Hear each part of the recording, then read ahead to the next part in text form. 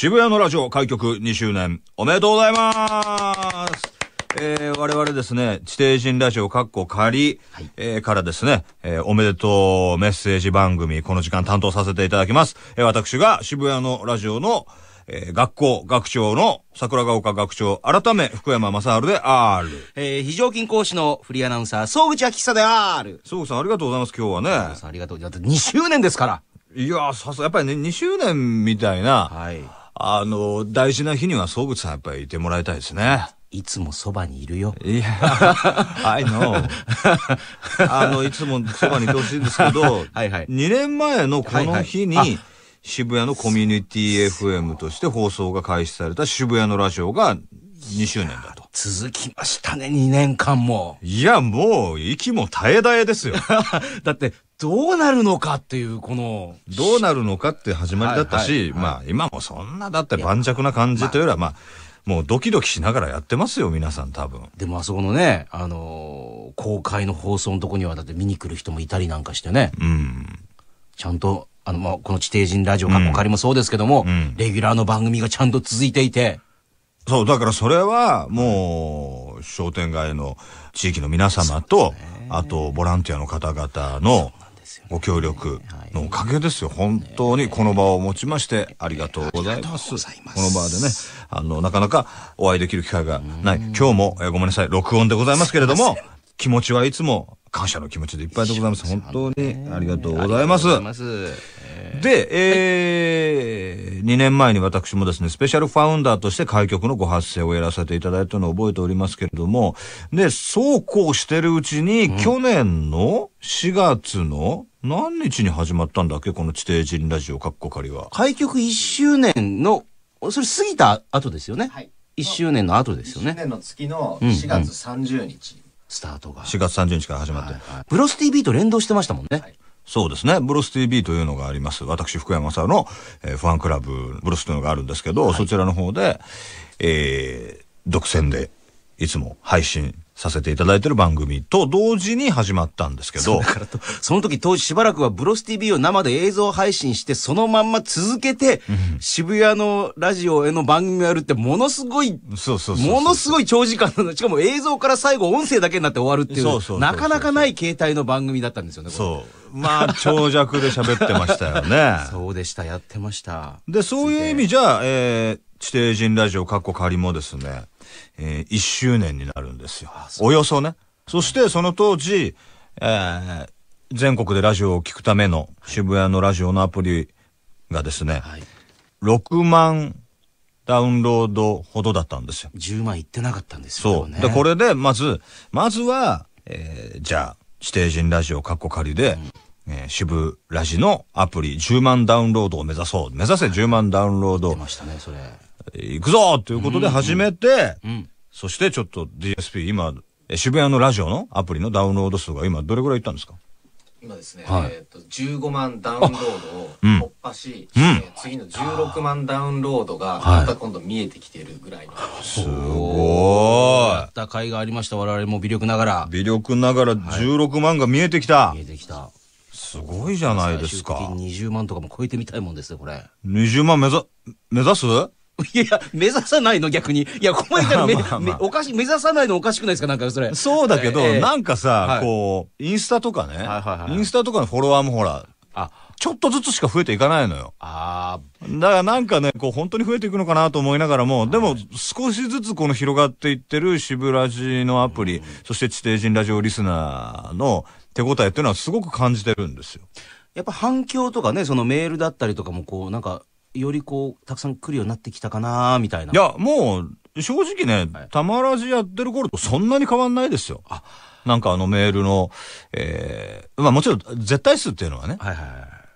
かたやほら、全国フルネットのさ、ラジオ番組ですからね、うん。生放送番組でしたから、それは全然ちょっとその数としては比較にならないですけれども、でもこう、内容のクオリティとかね、濃さみたいなものはもう、もはや変わらないというか、まあ、やっぱりラジオの絆っていうのは強いなっていうのはすごく感じますよ。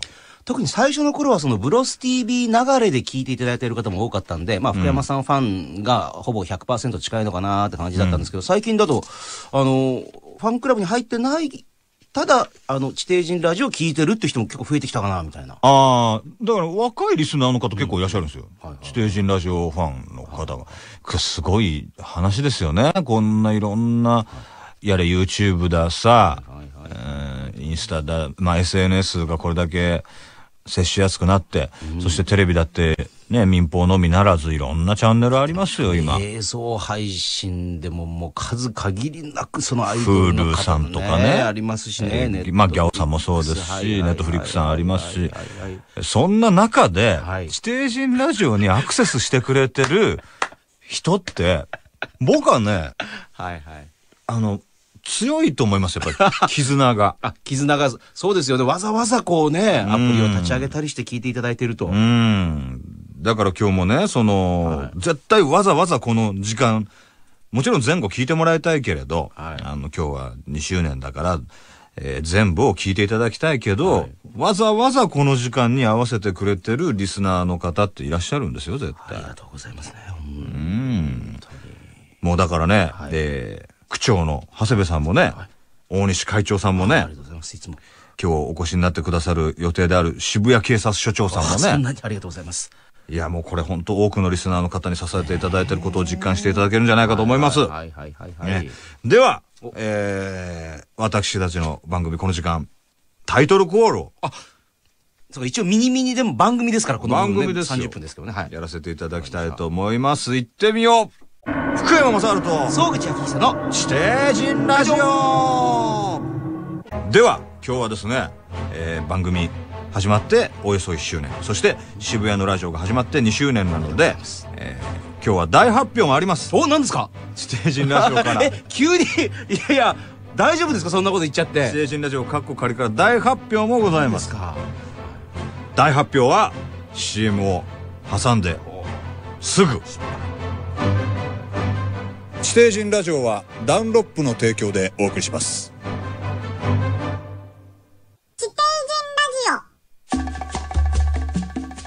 ねもう渋谷のラジオコミュニティ FM にですねダンロップさんの提供がついてるって。一瞬二度聞きええ？っていうね。すごいです。これ勝手にやってほ本当に？みたいなね。いや勝手に使って勝手にダンロップさんの名前を語って使ってないよ。えですよね。そうよ。まさかって。いうもうだもちろんもう代表するよ。本当にありがとうございますダンロップさん。お世話になっております。お世話になっております。しかも地底人ラジオって言ってね地底人ラジオ。ダンロップさんそうです大丈夫なんだ。では、はいえー、ダンロップさんにもまだ、えー、お知らせしてないんですけどこの大発表。それそれをさ一番最初にお知らせするもんなんじゃないんですか？何か大発表する時は、あのー、大丈夫ですか？してます。多分これを収録した後に連絡を入れてるはずです、それぐらい大きな発表なんですか？あもうだだものすごい大発表ですえ？いいですか？はい。では地底人ラジオのパーソナリティそして渋谷のラジオの学校の学長である福山沢で R が、はい総口昭久さんも知らない、毎回知らないんですよ。ことを大発表させていただきたいと思います。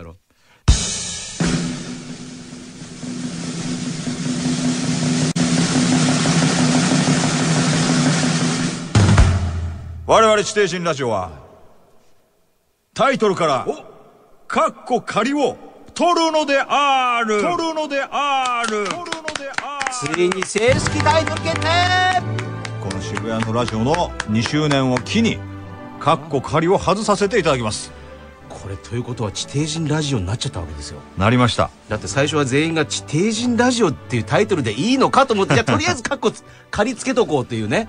いやでもなんかやっぱり名前っていうのは定着するもんだね、もう今や地底人ラジオ以外は考えられないですよどうするっていう話は一回もならなかったですもんね。なんかちょっとさ地底人ラジオっていうその響きが秘密結社的でもあり、ちょっとその不良グループっぽいっていうか、あの不良グループ地底人ラジオが。いやなんかそういうこうちょっとなんか一発かましてやるぜ的なねそういうこうノリも出てきたなと思って。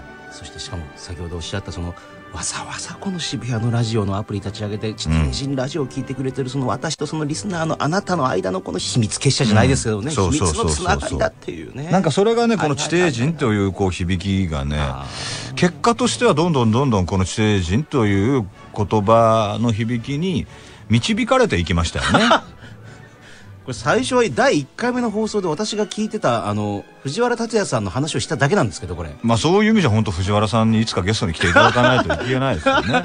名付け親ですもんねこれね、まあ、名付け親の きっかけですよ。そうですね。名付けのきっかけとなった、えー、どうも祐天寺の地下に地底人がいるらしいですよって藤原竜也さんが言ってた話を私が聞いてそれを伝えたら、うん、そのまんま地底人ラジオになってしまったっていう。でもそのことは藤原竜也さんが言ってたんじゃなくて、はいどなたかからそれを聞いたんでしょ？これね石坂浩二さんが、うん、あの藤原竜也さんに真顔で「祐天寺の地下には地底人がいるんだよ」っていうと言ってたんですよって、藤原竜也さんから私聞いたんですよ、真顔でね。イベントの始まる前に、はい石坂さんも真顔なら 藤原さんも真顔だった、藤原竜也さんムーが大好きなんで。ああ信用できる俳優さんですね。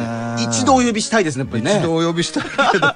ホリプロ側もどういう顔するか分かりませんけどこれね。だから藤原さんのなんか、あの主演映画の公開時期とかにぜひちょっと。あねプロ プロモーションとして。プロモーションの一環として、うん、各ワイドショーとかスポーツ新聞とか出る中に紛れ込ませて、うん、いやだからただ単にラジオに渋ラジに来ていただくだけだとパブになりにくいので、例えばまあ藤原さんと、まあ、僕と総口さんとで何かちょっと地底人らしき格好をした写真でも撮ってそれをインスタグラムにアップし LINE 等々にアップしそのこと自体がネットニュースとして走るような仕組みをちょっと作ればプロモーションに来ていただく意味もあるんじゃないの？普通考えたらだって福山雅治とあの藤原竜也が2人で地底人の格好をした写真が出回ると何が起こったのかと思って。そうそうそうそう リツイートは広がっていきます。よなんだなんだこれどうしたみたいな。でムーがお好きでいらっしゃるムー大好きなんですよ。そしたらそこに、はい、そのムーの編集長の方とか。そのイベントの時もムーの編集長ゲストだったんですよ。だから来ていただくことによって、はい、拡散もしやすくなるんじゃないかなと思って情報を拡散しやすい。私学研の編集者に知り合いがいるんで。力あるな、えー、ムーの編集部にも遊びに行ったこともある力持ってるな、遊びに行ったことがある。なんか弱いな 弱いですか？編集長会ったことあります？何度も。だからなんかそういう仕組みをちゃんとこちら側から作ってネタもちゃんと自分たちでこう発信すれば。DSP が赤ペンでメモしてる今。いやいやもういやそうですよもう。今までだって数々の、はいはい、えー若手イケメン俳優もゲスト来てくれましたよ。斎藤匠さん。あ、そう、まあ、あの、無理やりあのね、ぐいっとね。あ、どうも、ステージラジオです。え、なんえ、あ、あれ？どうも、ステージです。あれですか？あの、東京フィルムの。あ、あれじゃないんです。あれじゃないんです。え、あれじゃないって一瞬顔が曇りましたけど、何ですかそれみたいな。なんか悪用されるんじゃないかっていうその声を使って何をするつもりですか？うん。桜庭ななみさんもね。そうですよ、フェアリーななみですよ。なんか楽しそうですねみたいなコアゴアではありましたけれども。だからまあうちの番組的にもそのいろんな方出てくれてるんで、はいはい、あのどうですかって提案をねさせていただきましょうよ、はいはいはい、というわけでですね、はい、渋谷のラジオ、えー、地底人ラジオはですねかっこ仮が取れまして、えー、地底人ラジオという、えー、タイトルになりました。どうしましょう？地底人ラジオを丸にするか。ああどうする？これ。ただの地底人ラジオだけではなくその後に、うん、地底自覚でいうとこの一角足して丸をつけるか。を丸にするか。なんか欲しくない。地底人ラジオオメガとか。またそれカッコを取った意味があるんです逆に変なものがつきますけどなんか。なんかつけたいのない？今今なら、ま、なんかつくかもしれない。本当ですか、うん、地底人ラジオ。地底人ラジオオメガ。そう地底人ラジオジーターとか。ジーター。とか。なんか今までつけたかったけどつける機会がなかった。いやないな。あるじゃんそういうのってほら。何ですか？ほらもう怪しさの上に怪しさを持ってもてんこ盛りにするってことですねこれね。地底人ラジオって俺たちもう慣れてるから、はいはいはい、多分もうこのワード自体があの強いワードじゃないんですよ。なんかつけた方がいいんです通あの映画があって続編がある時は2あとはなんかマックスとかなんかついたりとか。マックス？はい。メガマあのワイルドワイルドスピードはマックスなとかメガマックスとかですからね。なんかね。ステージラジオメガマックス？なんかないかな、リローデッドとか。あリローデッドね。そういうのそういうの、はいはいはいもう地底人ラジオっていう言葉自体はもうハリー・ポッターみたいなもんだから そうですか。あの、はいはい、ハリー・ポッター、えー、なんとかとなんとかの騎士団みたいな。地底人ラジオとアズカバンの囚人たちみたいな。そういうタイトルになるんですかそういうことですか。そういうの地地底人ラジオと賢者の石とか。そうそうそうそう。でもこれは JK ローリング側から巨額のなんかあの賠償金を。そのままはだからダメだよ。そうですか。地底人ラジオと、はい。えーチュパカブラの群れとか。地底人ラジオとチュパカブラの群れ。それ番組名としてはすごいです強いでしょ？強いですね。でも絶対聞きたくなりますよこれ。うん、え何何？どういうことやそれっていう。あと何？チュパカブラ以外にさ最近なんかあるユーマですか？ユーマは。あー最近流行りの。なんか。あ地底人ラジオと土の子騎兵団。あ それ軽くちょっとドラえもんになっては近づいてますけどなんか。はいはいはい。ペンタゴンが UFO の動画を公開したばかりです。そうそうペンタゴンアメリカの,、うん。あの国防省が、うんえー UFO を撮影していたっていうのを動画公開したりしてるんです。えそれ本当にえー公式なものとして発表したの？まあまあ UFO ってまあほんと未確認飛行物体を。え何それ？いえ見てないですか？や見てない見てない。結構あの話題になってましたよ。ええー、っていう。やっぱしえこれペンタゴンが公式に？はいはい。ニューヨーク・タイムズに載ってねこれ、まあ去年年末ですけど。あじゃあさ例えばまあ、はいはい。えーっと地底人ラジオ。はいペンタゴンの執行人。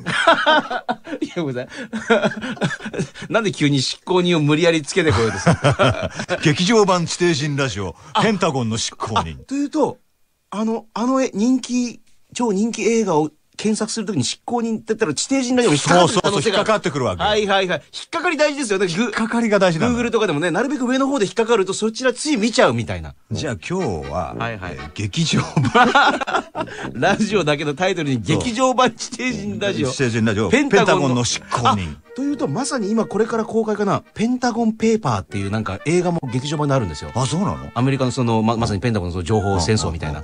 だからペンタゴンペーパーを見る人もうん飛行人を見る人も両方引っかかってきますよこれ。ちょっと待ってね。ちゃんと書いとこう、はい。はいえー劇場版。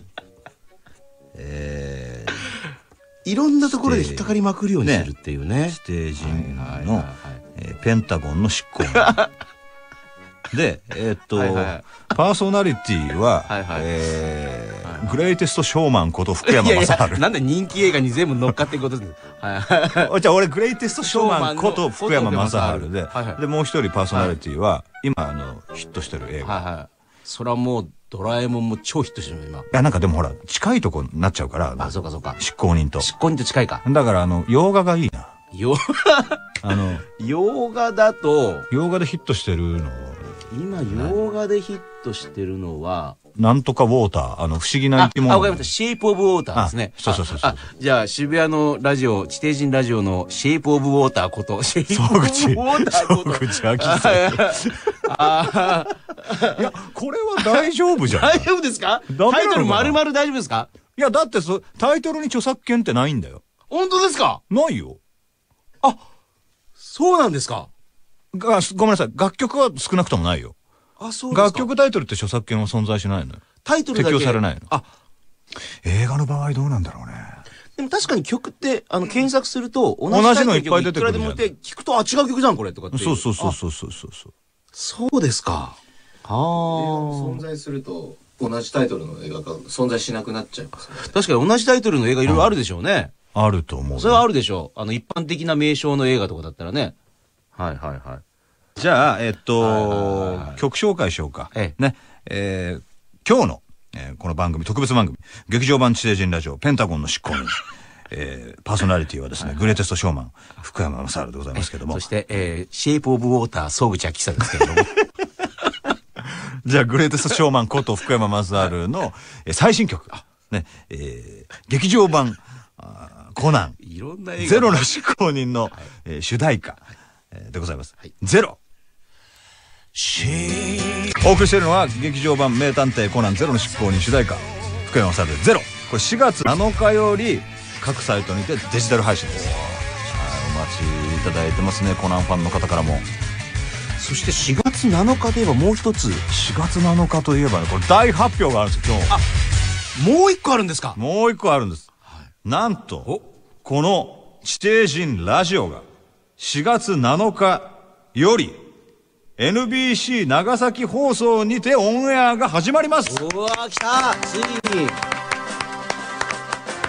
渋谷のラジオでの放送から1週間ディレイでの放送となりますがなんとですね、はい、えー、民放で聞けるようになります。すごい。このゲリラ放送がついに我々の中でついにですよ。はあ。ゲリラ放送がなんと長崎放送で放送されるんです、えー、嬉しいどうどうやらね、はいはい、その NBC 長崎放送のスタッフの方が、はい、福山さんと総口さんの声が長崎の深夜に聞こえないのは寂しいと。と思って、もう本当に嬉しい。それに答えて、番組タイトルが、え、ペンタゴンの執行に、これが全部ラジオ欄に乗ると、いくらなんでもこの NBC の上層部がちょっとまたこの番組なんだなんだこれなんだこれ。シェイプウォーターとかいろいろ大丈夫かこれ。えっと、これは、あの、言ってるだけです。あ、そうですか。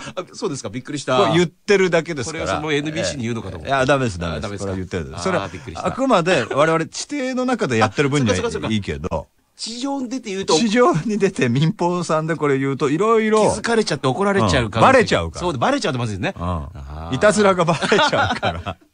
我々が地下でやっていたいたずらがばそうそうそう。でもすごいですよ、これ。NBC 長崎放送で地底人ラジオが4月の7日から放送になるっていうことは。はいはいはい。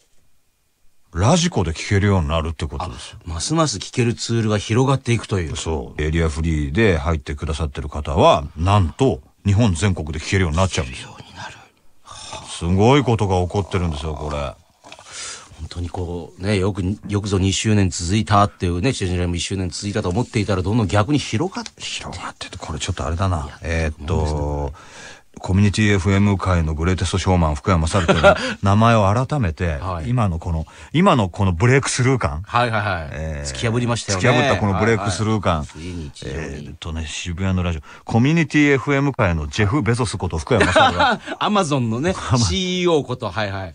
だからあの、コミュニティラジオ界のイーロン・マスクこと、総口あの、テスラとかを作っているね。はいはいはいはいはい。あの、いわゆる今、世の中を引っ張っている二大巨頭ですね。はい。まあ、ありがたいことですよね。いや、本当ですよ。長崎に特化したコーナーとかも、やり始めますよ、多分これ。本当ですか？うん。渋谷のラジオで？渋谷のラジオで。まあ、でも確かにこの渋谷のラジオでその東北地方応援しようみたいな番組もあったりしますからね。うん。じゃあ九州にも。うん。はいはいはい。そうだなどういうことできるんだろうな。長崎を応援する。応援するってだって今長崎福山さん応援してるじゃないですか、今。あ、そうですよ。ええ、応援してるつうか、まあ、あの、はい。あのご、ご協力させていただいてますけれども、ねうん、ブルーアイランズプロジェクトといって、はいはいはいこの間急に島になって、ど、まあ、どういう、これ経緯でこれ島になってんだろうと思って、これ。役作りですよ。あ、そうですか。役作りどうなってんだ、これ。やっぱ島を紹介するには、やっぱり島を知らなきゃいけないじゃないですか。確かに確かに確かに。うんうんうん。まあ、あくまであれティザーですけどね。あ、まあまあね。だから今後ちょっとさらに、どういう、え広報活動ができるのかっていうのはまたちょっと僕もクリエイティブ考えていきますので。それにさらにこうね、はい、地底人ラジオも加わって。地底人ラジオが長崎長崎も応援、渋谷もそうだし、長崎も応援していくっていう。だから長崎放送の、はい、えー、メールもお待ちしております、長崎リスナーの。そうか、そっから今度はまたさらに来るようになる。そうそうそうそう。ね、日本全国から来るけれども、ね、長崎からも来るようになると。NBC で聞いた方からも。NBC では毎週土曜22時から23時30分までです。いい時間帯ですよ。ね本当ですね、これ。いい時間帯。大丈夫ですか？この10時から11時半なんかいただいちゃって。いい時間いただいたよ、これ。まあ、いつかね、あの、長崎から生放送なんていうことがあるかもしれない。長崎から、この渋谷のラジオの地底人ラジオ。そう、が生放送になるかもしれない。島から。島からもなるかもしれない。ねえ。だそう考えるとなんかすごくラジオっていうもので、いろんなことと繋がっていて、すごい楽しいですよね。逆に言うとこの渋谷のラジオはもうフットワーク軽いどころかもうね。雨やばなみにこう、いろんなところにこう、もう。こんにちはできるわけですから。そうなんですよ。何でもできちゃうんですもうちょっとほら、いわゆるね、地上波の曲だったらそんな勝手なことあんまできないでしょうけど、うん、何しても逆によくやったって言われるわけですよね。逆にね。ね、嬉しいですね。これからもですね、さらに渋谷を盛り上げ、まあ渋谷の盛り上げ、まあ渋谷自体盛り上がってますけど、渋谷の何かあの盛り上げになるようなご協力ができるような、そんな地底人ラジオでありたい。そして、え長崎を、えまた深夜を彩れるような、ね、えそんな地底人ラジオでありたいと思っております。はいそういった形でですね、はい、今後とも地底人ラジオはですね、どんどんどんどん進化、変化していきます。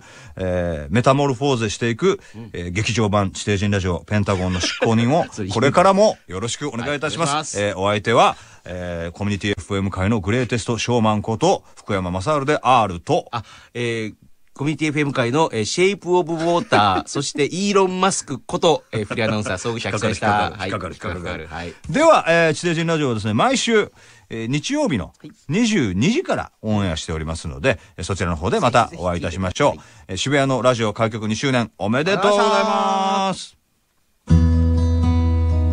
地底人ラジオはダンロップの提供でお送りしました。